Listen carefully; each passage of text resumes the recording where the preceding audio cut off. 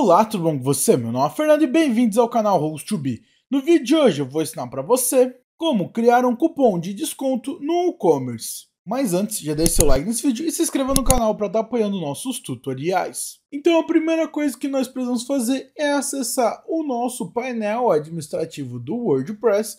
Então já estou aqui no meu painel admin. Em seguida, nós iremos no lado esquerdo, no menu lateral, nós vamos vir aqui no nosso menu e vamos até a opção de marketing. Então, ao colocar o mouse em cima de marketing, vai aparecer um menu com duas opções e nós vamos na opção escrito cupons. Então vamos clicar. Será então aberto a página de cupons e aqui vai mostrar os cupons que você tem criados dentro da sua loja. Eu ainda não tenho nenhum, então vai aparecer abaixo crie seu primeiro cupom. Se você já tiver, basta clicar no botão adicionar cupom acima. Os dois funcionam para a mesma coisa, então vamos clicar e agora será aberto a página de adicionar novo cupom. A primeira coisa que nós vamos preencher é o código do cupom, então aqui você vai colocar o nome do cupom, que é o código que as pessoas vão utilizar. Você pode utilizar a opção gerar código de cupom, então ele vai gerar um código aleatório, se você preferir, ou pode colocar o código desejado. Eu vou colocar aqui de exemplo host2be15, que seria um código fictício para 15% de desconto. E abaixo tem a opção de descrição, e aqui você pode colocar uma descrição, ele é apenas interno, ninguém mais vai ver isso, e aqui você pode colocar do que se trata esse cupom.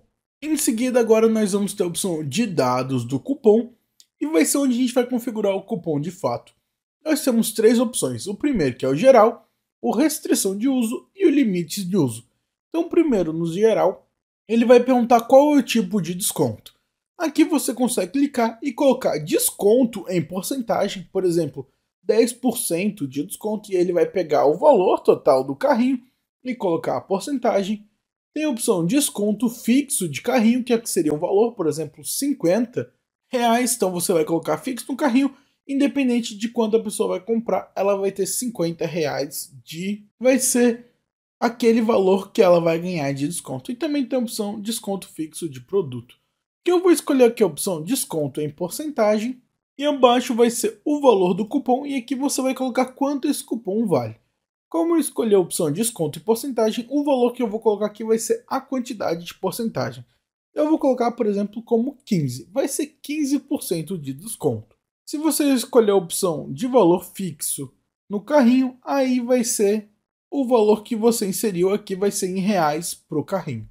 Em seguida temos a opção permitir frete grátis. Se você marcar essa caixinha aqui, esse cupom vai valer para frete grátis. Caso você preferir, você pode deixar em zero aqui e colocar apenas frete grátis e esse cupom vai ser de frete grátis. Vou deixar 15 aqui e desmarcar o frete grátis. Agora, opção data de expiração do cupom. O cupom, sem você configurar uma data de expiração, ele vai ser válido até que você delete ele, ou você pode colocar uma data para que ele pare de ser válido. Então você pode colocar a data que desejar e ele vai parar de valer na data em questão. Ou caso você não colocar nada, ele não vai ter uma data de expiração. Você, os seus clientes vão poder usar quanto tempo eles quiserem. Agora, na próxima opção, restrições de uso, nós podemos clicar e aqui você pode restringir esse cupom. Então você pode restringir para gasto mínimo, gasto máximo. Por exemplo, gasto mínimo, eu vou colocar que a pessoa possa usar o cupom, seja válido apenas se ela gastar no mínimo 100 reais. Então, caso ela gaste menos de 100 reais, ela pode colocar o cupom, não vai funcionar. Gasto máximo seria a mesma coisa, mas aí você vai limitar o gasto dessa pessoa.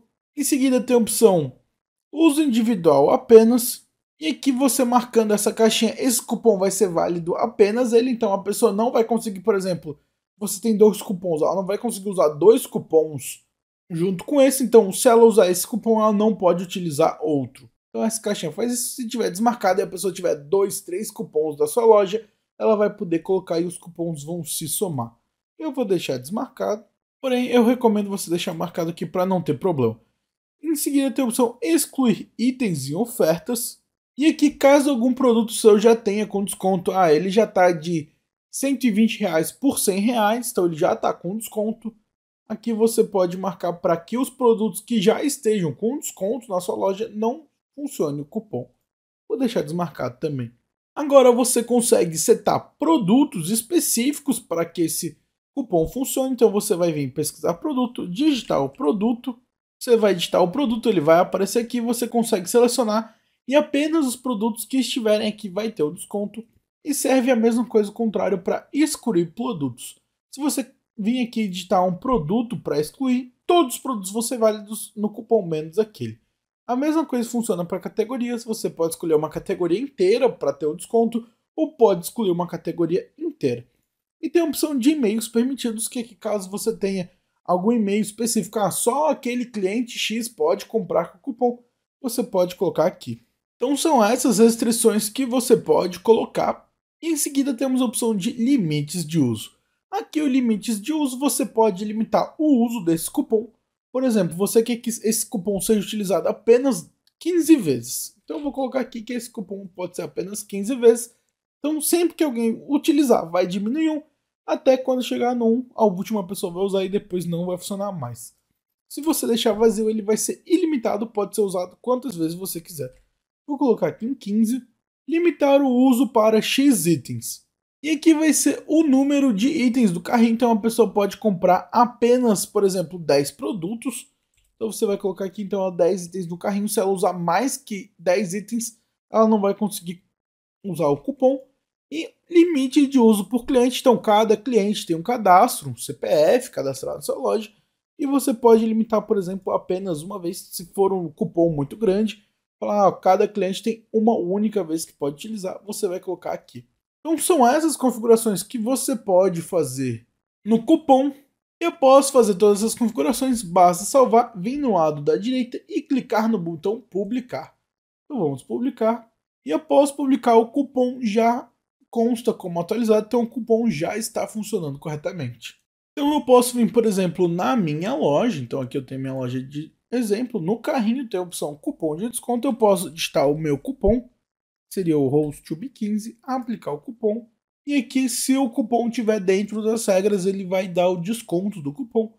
Então, aqui seria de 15%. Esse produto é de 120, então seria 18 reais de desconto e a pessoa vai para o checkout, vai pagar e vai utilizar esse cupom. Então, nesse vídeo você aprendeu a criar um cupom corretamente aqui no WordPress. Então, eu espero que esse vídeo tenha lhe ajudado. Se lhe ajudou, eu peço que, por favor, deixe seu like nesse vídeo e se inscreva no canal para estar apoiando nossos tutoriais. Nos vemos no próximo vídeo e tchau!